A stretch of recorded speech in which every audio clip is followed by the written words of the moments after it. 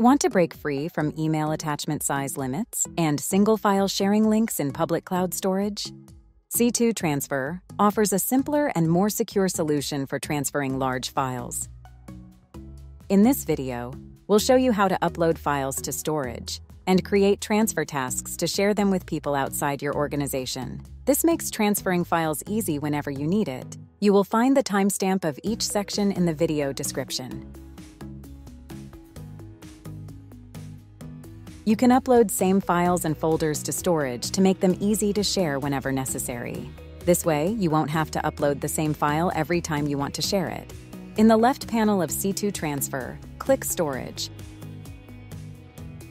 drag and drop your file directly into the browser or select the file. While the file is being uploaded, you can click Background Tasks in the upper right corner to check the progress. Large files might take longer to upload, depending on your network conditions. You can do the following to your uploads pause, resume, or clear. When you pause your upload, the uploaded portion will be temporarily kept on the server until you resume or clear the upload. When you resume, the previous upload progress will continue.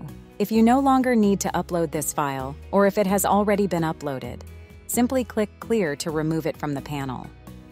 Once you've uploaded the file, you can add it to a transfer task at any time.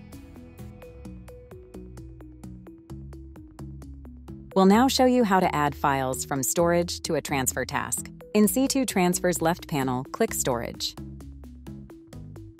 Hover over the file you want to transfer. Click Transfer.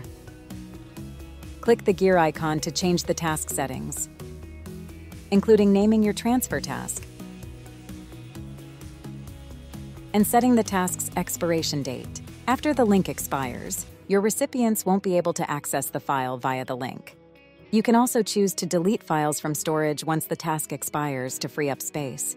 If a file is included in more than one task with different expiration dates, it will be deleted upon the last expiration date. Then, choose whether to add a watermark. The watermark will be applied to all files in the same task. Once everything is set up, click Save. Next, you can set the task's access permissions and choose the method for verifying recipients. There are two options. If you select Limit Access to specific recipients, enter the email address or phone number of the recipients. Business plan users can also enter domains, so that anyone with an email address under that domain can access the files. If you select Allow access to anyone with the link, you can set a block list to block access from specific domains or email addresses. Anyone who is not on the block list can access the shared files after being verified. Click Create Link to finish. Once the file is uploaded, you'll get a sharing link. You can also share the link using the generated QR code or via email and instant messaging. For security reasons, C2 Transfer won't send file sharing notifications to them. You'll need to share the link with them. Once recipients receive the verification email and complete the verification, they can download your files, and you'll be alerted when someone downloads your files. To learn more about C2 Transfer, subscribe to the Synology YouTube channel or click on another video to keep watching.